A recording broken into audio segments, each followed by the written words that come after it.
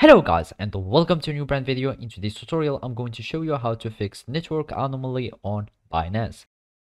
So now all you need to do is to open your web browser either it was Google Chrome, uh, Mozilla Firefox, Microsoft Edge or any browser that you are using will do the work. After that you will need just to search for binance.com and then it will take you to the Binance.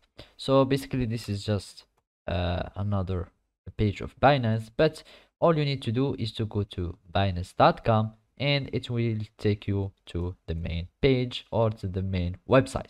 Then you will need just to sign up with your email or phone or you can just uh, sign in if you already have an account. So basically when you sign up you will need just to uh, fill in uh, just the usual information your email then you will need to verify it and after that you will add your personal names uh, your uh, birth dates etc and then you will be able to create an account. And then finally we need just to uh, sign in to your account and then you will need just to follow the simple steps and basically after you log in into your binance account this problem you need just to know is it is uh, a cause or caused due to multiple reasons. So it can be just an update from uh, the binance services. So basically if the, it is just some server maintenance uh, made by binance all you need to do is to wait until the maintenance is done and you will have your binance that will work again.